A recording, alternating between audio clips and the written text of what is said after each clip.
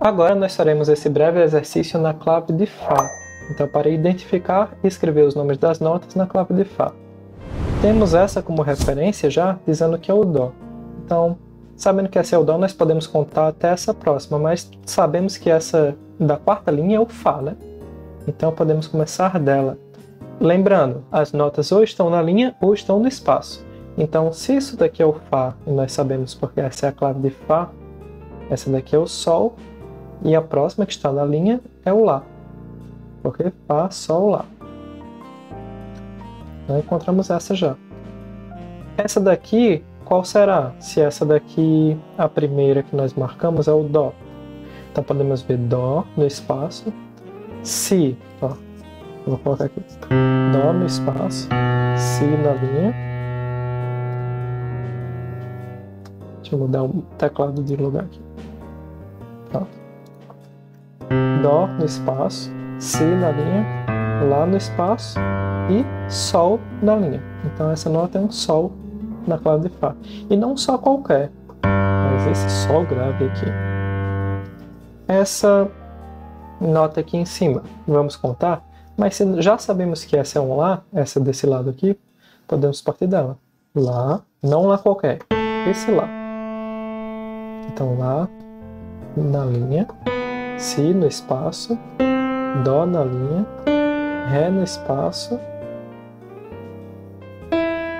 Mi na segunda linha suplementar superior. Então essa nota aqui é um Mi na clave de Fá e não um Mi qualquer, mas esse Mi aqui, Mi mais ou menos médio, nem tão grave nem tão agudo. Você vê que a clave de Fá, ela pega das notas médias, aqui mais ou menos, esse Dó, e vai para as graves.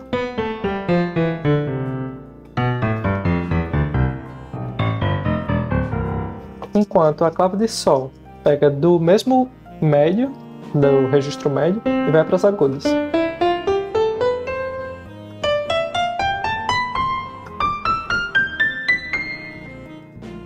Então, por isso que a gente precisa das duas claves para escrever todo o registro, todo o espectro de, uh, de alturas, de notas que nós temos disponíveis nos instrumentos musicais.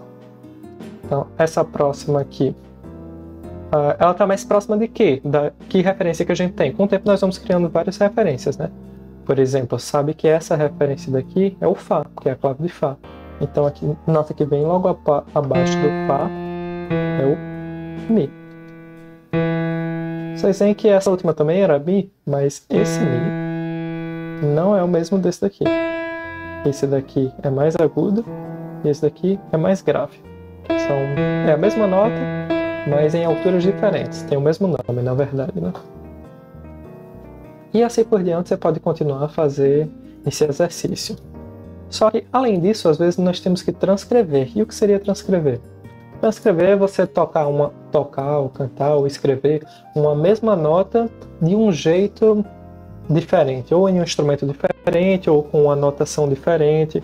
Nesse caso aqui, nós vamos escrever algumas notas que estão na clave de sol em outra clave, que vai ser a clave de fá. Como é que a gente vai fazer isso?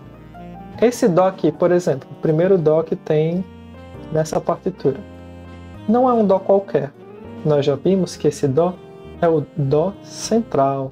E como é que se escreve o Dó central na clave de Fá? A gente pode usar como referência o próprio Fá, saber que esse Fá está abaixo do Dó central e vamos subindo até chegar a um Dó. Lá, desculpa, Sol, Lá, Si, Dó. Opa, deu certinho. Lembra que o Dó central na clave de Fá está na primeira linha suplementar superior. Então, esse Dó aqui é igual a esse. Ou seja, esse de baixo é igual a esse de cima. São a mesma nota que esse Dó central. Si. Percebam que esse Si está logo abaixo desse Dó. Então, a gente pode pensar, ah, o Dó não era aqui, o Si vai ser aqui, porque é logo abaixo, ó. Dó, Si. Se contarmos a partir do Fá, também chega direitinho. Ó. Fá, logo abaixo do Dó central, né? Sol, Lá, Si. Então, esse é um Si Não um Si qualquer, mas esse mesmo Si, só que na clave de Fá. Essa nota aqui, se nós contarmos, veremos que é um Ré logo acima do Dó central. Não um Ré qualquer, mas esse Ré aqui. Esse é o Dó central e esse é o Ré. Já fizemos o Dó central aqui embaixo. O Ré seria logo acima, ou seja, não na linha, agora no espaço entre as notas. Seria essa nota aqui.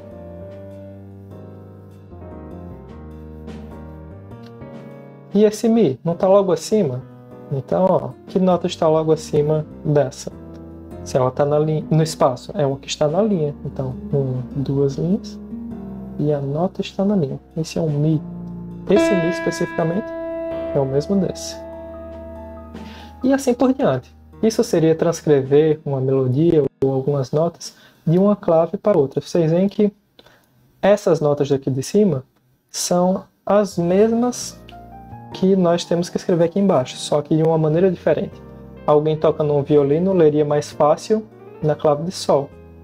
Mas se uma pessoa pegar para tocar as mesmas notas em um violoncelo, ó, violoncelo, provavelmente ficaria mais confortável na clave de Fá. Mesmo sendo as mesmas notas, na mesma altura.